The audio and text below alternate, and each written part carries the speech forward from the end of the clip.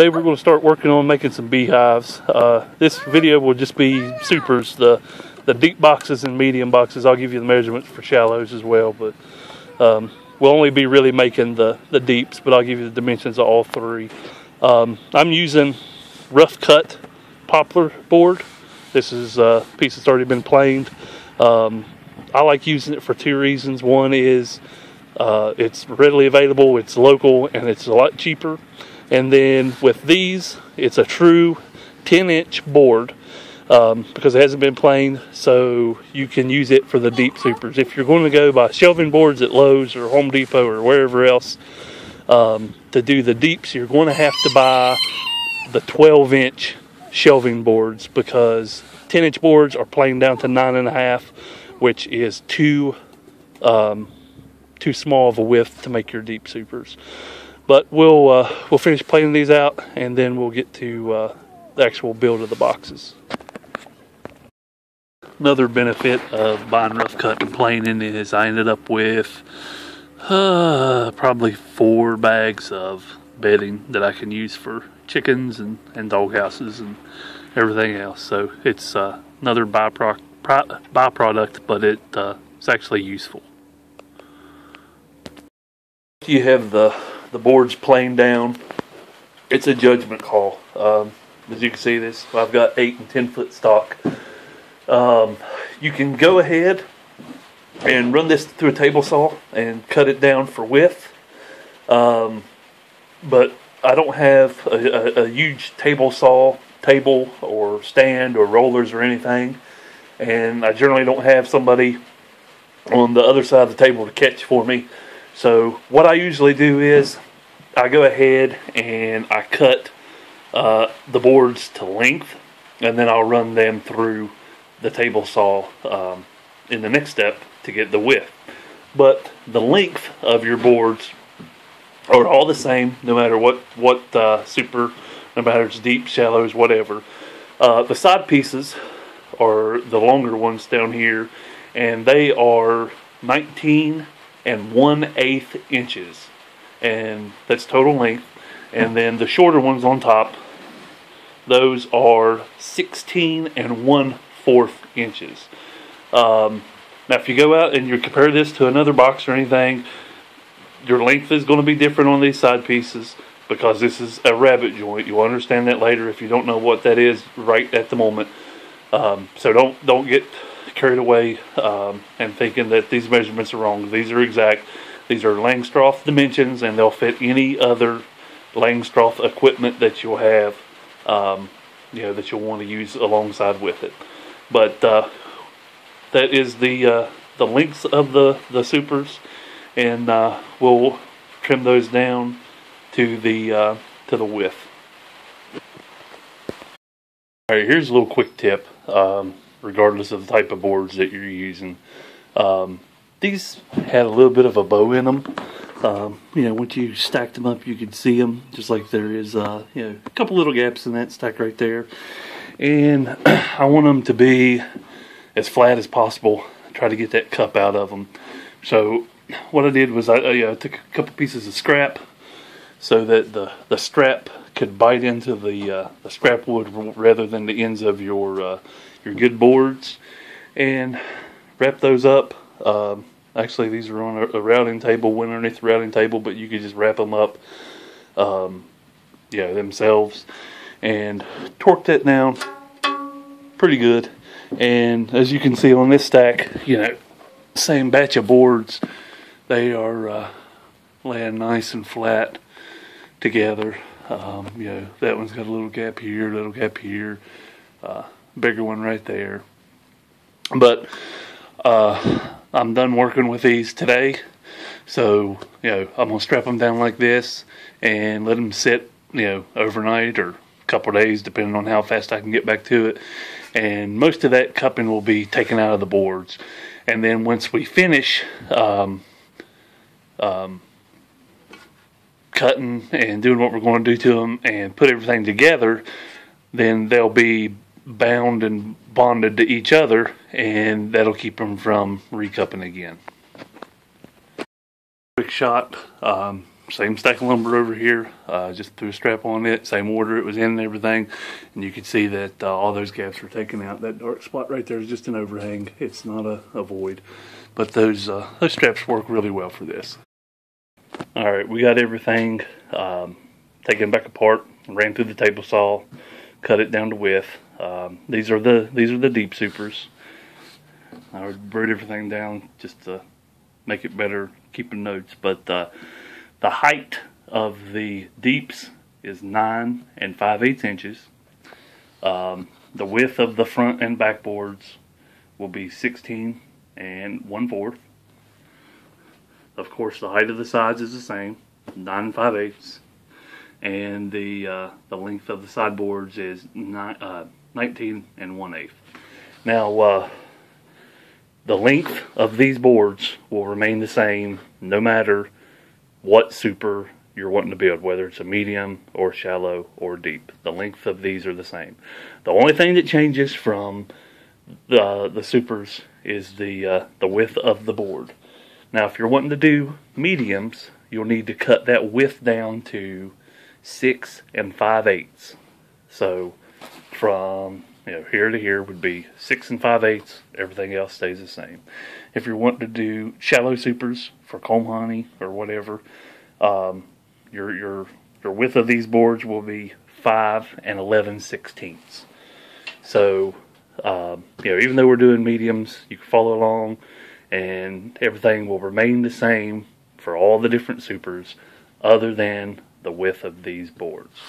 Um, the sideboards for the way I build boxes, these are actually complete. I'll, I'll go and lightly sand the edges, maybe knock off a little bit of the um, wood particles and stuff that's hanging on, but those are done. They're ready to be stacked, set aside, and wait for uh, wait for the fronts and backs to be done.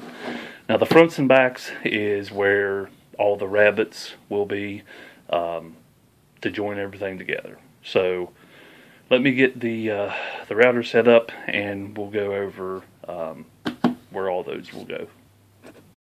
For making the uh, the rabbets around the the face uh, and the back of the boxes, my tool of choice is a router table. Doesn't have to be anything fancy. It could be a little homemade one like this one right here. Um, but what I'll use is a three quarter inch um, router bit, just a straight bit. Uh, turn around a few times so you can see what it looks like. Um, the machine is unplugged, so you can leave safety out of the comments. Uh, but that's what I use. Three quarters of an inch. Um, so what I'll do is I'll set the depth, the amount that it's coming up out of the table at 3 eighths of an inch. And then I'll put my fence right against the side of it. So you end up with 3 quarters because that's the uh, the width of the, the bit by 3 eighths. That's how far it's sticking up out of the table. Rabbet going alongside uh, of your boards. Um, I always run a couple pieces of scrap through, or at least one piece of scrap through, to make sure that uh, everything's set correctly. Um, I ran this through when I first punched the bit up to make sure I had the uh, the depth right, and then once I had the fence installed, I ran this through to make sure that I had the uh, that in place as well. Um, you can use a table saw. I have a um, a dado blade for my saw I really don't like it. It it, it chips the wood uh, a, a, bit more than I like. Uh, before I built this, I would use just a table saw and um, you know set the blade for three eighths depth, same as what this is, and then um, you know set a fence up for the right measurements. Um, it would be let's see from your fence to the outside of your blade would be three quarters of an inch. And I'd run it through, or I'd run all of them through, and then um, I would uh, bump it over a little bit, run it through, and then I'd end up chiseling all that out. But the the router table is quick, painless, effective. I love it. That's what uh, that's the best uh, the way I've found to do these. And real quick on another note, um, the three quarter by three eighths will be just down the two ends of this board. And what that will allow is the, uh, the sideboards to sit in flush and uh, just ride that groove. Now we will be doing another rabbet on the tops for the frames to sit in, but we'll adjust for that because it's 3 eighths by uh, I think 5 eighths. I'll have to double check on that one. But uh, we'll run the sides through, and it's a 3 quarter width by 3 eighths depth rabbet just on the two sides of the front and the rear boards. All right, we've got all the uh, the front and backs ran through. We've got a rabbets cut on both ends. Um, little sanding, take off those uh, little pieces of waste wood, and we'll be good to go on those. Um, we do have to run one rabbet joint across the top for the, the frames to rest in. Uh, same bit. I didn't mess with the uh, protrusion out of the table. It's going to be the same depth. The only thing that you'll have to adjust is your fence um, for the the different uh, width of it. This is still the three quarter bit, so my fence has a bit of a cutout that I made in there, and I just brought it over to where only five eighths of the uh, the bit is coming out from the fence. So um, you know, three eighths up, five eighths out, and that'll give us the uh, the proper rabbet for the top of our boxes. All right, after all the rabbets have been made, and you run around the edges with, uh, I like sanding sponge. They they do real well in the corners, but sanding sponge or sandpaper, and get all the little burrs and stuff off. Um, this is what the the uh, inside of your front and rear boards should look like. You've got the three quarters on the sides, five eighths on the top, bottoms, uh, nothing done to it. Um, but that's what it should look like. And from there on, the only thing that's left to get these boxes done is assembly. Alright, you've got a few choices when it comes to uh, assembling your boxes. Um, what I like the, the best is screws, um, you know, exterior deck screws. If I'm going to do uh, like a natural finish, like a linseed oil or something, I'll use these uh, golden screws just because they blend better with the wood and they look a little better. Uh, when I'm painting, I use just regular gray or, or green exterior screws and then a good quality glue. Um, ultimately, the glue is what's going to hold it together. So, the, you know, these are basically there to hold it until this dries uh, for the most part. But um, I put them together with uh, eight penny nails uh, I use those quite a bit, and they did just fine. Um, you can use crown stapler with uh, you know sizable staples. You'll need like inch and a half uh, staples, but that would work. Um, the only reason I do it this way now is I, I tend to sell a few every year, and this looks a little better. What I'll do with my boards is uh, I'll go down each side and measure down about an inch, up and out about an inch, and in the center, and shoot that over three eighths from the edge. Pre-drill them and countersink them, and three eighths puts you right in the middle of the rabbet, so you're right in the middle of your other board. Um, and like I said, the main reason I do this is to make them look nice because uh, people buy them. But uh, that's what I do with mine. They don't have to be exact. You can eyeball it Throw in three or four eight penny nails and it'll hold just as well as this will. Alright, when I'm assembling the boxes, I like to, uh, to put it together on a nice flat surface. That way it's easier to, uh, to make sure all your, all your boards come down and are, you know, making contact to the same place. They're on the same plane. Everything's um, even and then I'll put a, uh, a framing square up against the corner to make sure that my corners go together square.